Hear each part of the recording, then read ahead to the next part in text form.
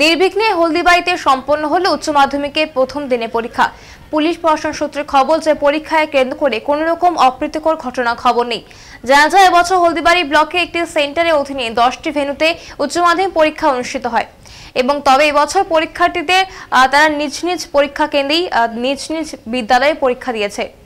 এবং প্রশাসন সূত্রে খবর যে এবছর হলদিবাড়ি ব্লকে মোট উচ্চ মাধ্যমিক পরীক্ষার্থী এক হাজার তিনশো সাতষট্টি জন এবং তার মধ্যে ছাত্র রয়েছে পাঁচশো ছাপ্পান্ন এবং ছাত্রী রয়েছে আটশো এগারো জন। প্রথম দিনের পরীক্ষা অনুপস্থিত ছিলেন উনচল্লিশ জন পরীক্ষার্থী। এদিনে পরীক্ষায় কেন্দ্র করে প্রত্যেকটি পরীক্ষা কেন্দ্রে পর্যাপ্ত পরিমাণে নিরাপত্তা রাখা হয়।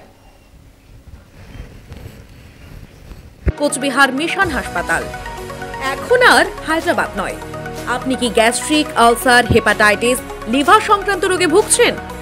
এখন থেকে সপ্তাহে সাত দিন, চব্বিশ ঘণ্টা পাচ্ছেন রেনাউন্ড গ্যাস্ট্রোএন্টারোলজিস্ট ডক্টর পরমেশ্বর রমেশ জুনার।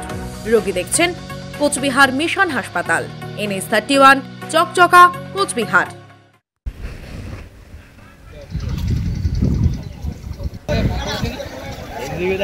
দিন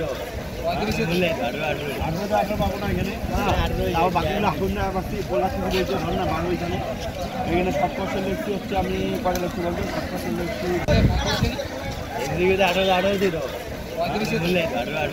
আঠারো পাবো না এখানে সাত পার্সেন্ট একটু হচ্ছে আমি কটা লক্ষ্য বলব সাত পার্সেন্ট